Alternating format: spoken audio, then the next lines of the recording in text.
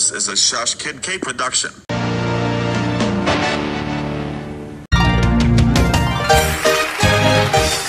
thank you. Thank you very much.